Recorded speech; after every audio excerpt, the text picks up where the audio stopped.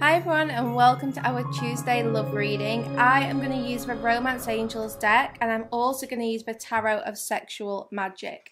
So we're going to use these decks to find out what is going on um, in kind of love, soul connections and relationships. So don't get hung up on labels and if it resonates, it resonates. Don't worry if it doesn't. These are general readings so not every message will resonate for you and that's okay. But let's find out what we need to hear today about love. So I'm going to start with the tarot. We have the Knave of Swords, but it came out in reverse. So I kind of feel like right now maybe you're waiting to catch someone's attention. There's a person here who I actually feel has been a little bit distant. Um, it's like usually they're very upfront about how they feel, but maybe recently you've noticed that they've been a little bit aloof, a little bit cool towards you, perhaps. Perhaps you've been waiting for a new beginning here with this person because I'm showing 111 and it just feels like things are a little bit stuck here. So recently there is like this person who's kind of pulled back a little bit but they're also still very protective over you, this King of Wands. So even though this person may not be giving you the attention that you're used to, they still feel, you know, like they want to take care of you, they want to provide for you. This is someone who is very, very loyal, very prote- protective.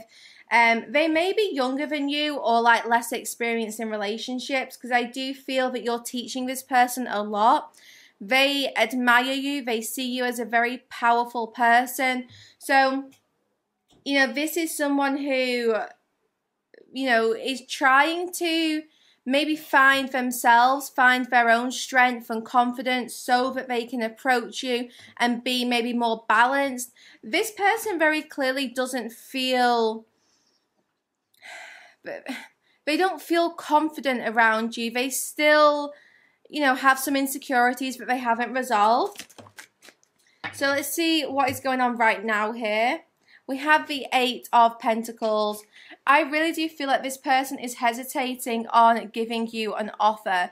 They're waiting for the right time. This is someone who maybe is normally very romantic, but they, they aren't being right now. So at present, I kind of feel that there's a little bit of distance here. This could be physical distance as well as emotional distance. But yeah, it seems like there's some uncertainty about what's going on between you both. Things need to be said. I'm sure this person really does want to express their feelings, but they also don't want to get rejected. So this person has a very big fear of rejection. Rejection. They have some abandonment wounds, which um, you know get triggered quite a lot around you. So yeah, this person's clearly not giving you that attention right now, but they also feel like you're being a little bit distant. So whoever you're dealing with is actually thinking that you're the one who's pulling back right now. You're not giving them time or attention. And it's interesting because both of you feel the same way about one another.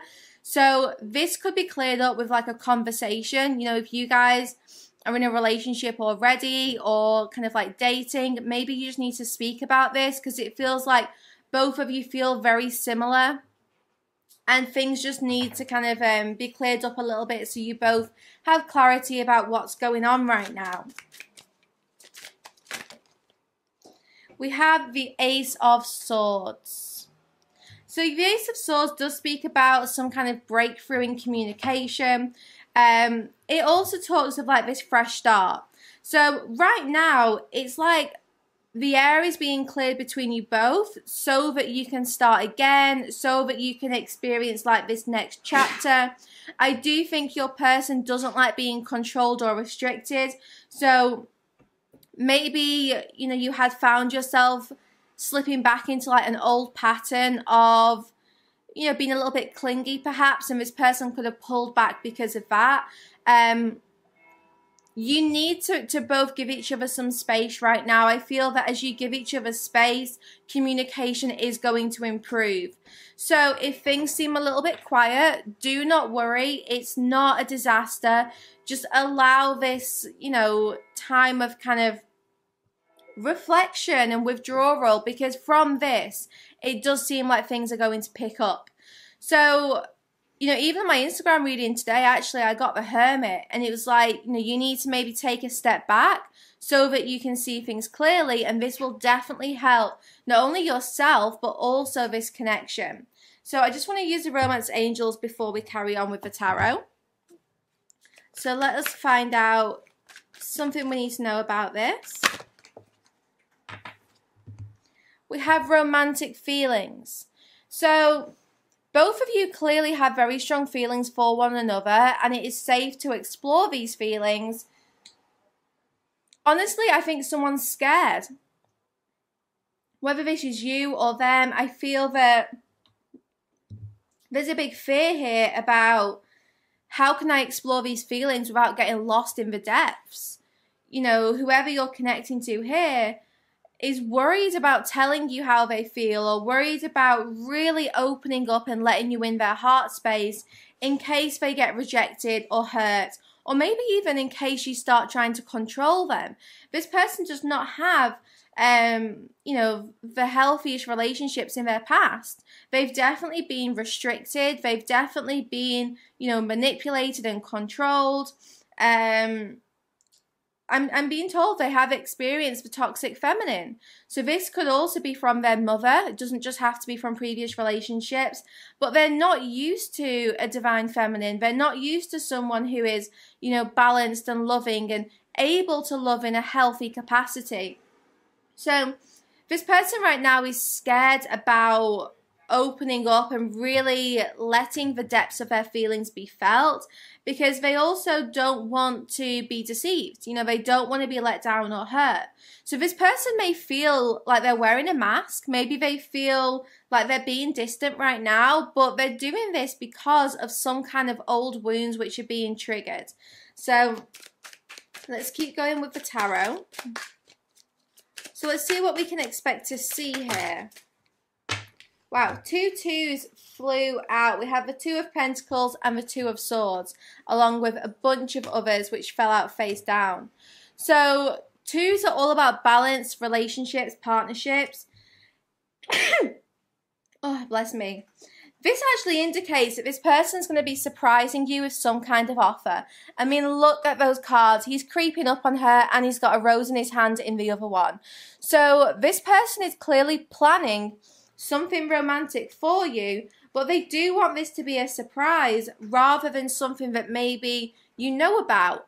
You know, this person is um full of surprises. They really are. They're full of surprises. They're full of romance as well when they feel safe to explore this romantic side. Um the key word here is safety. You know, safety is so important to this person. So things, like I said, may feel a little bit stuck right now, but I do see this person surprising you with some kind of romantic offer.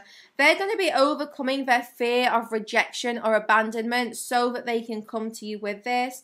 Um, I don't know if you guys are going to visit the zoo or a farm or something. I just see a very big open space and I'm showing lots of animals. So maybe a day trip to where there's animals. I'm not too sure.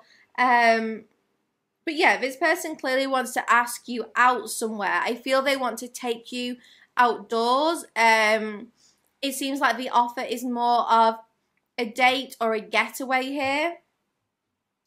But the, the air is going to be cleared. You know, your doubts, your suspicions aren't going to linger too much longer. I do feel this person is very focused on clearing the air with you. They don't want to, um, they don't want to leave things hanging here. You know, they don't want to leave things in suspense.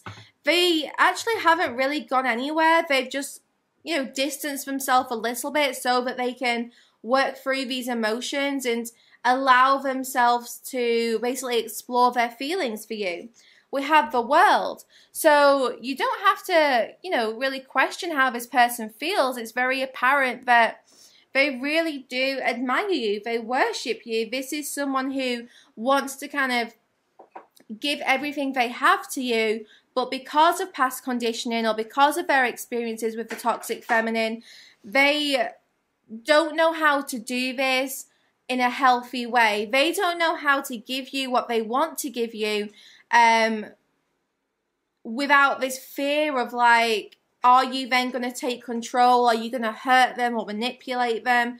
So I do feel things just need to be spoke about. Let us get a message from this person before we continue. So let's see what this person wants to say to you. I have seen the future with you. I want you by my side. But look, I can't let go of the past. So yeah, this is really confirming what I've said so far. This person has seen a future with you, but they're struggling to let go of their previous experiences. However, they want you to stop overthinking. So these are my team message decks, guys. You can get these on my Etsy store if you're interested. They want you to stop overthinking because look, I want to marry you, my love. So, wow, this is getting like pretty strong. I actually think this person's already made their mind up about what they want with you. Even if you're not with this person right now in a relationship, it, it kind of feels like they're going to be here quite soon. I honestly feel like two weeks, two months, but even two months feels like a big time.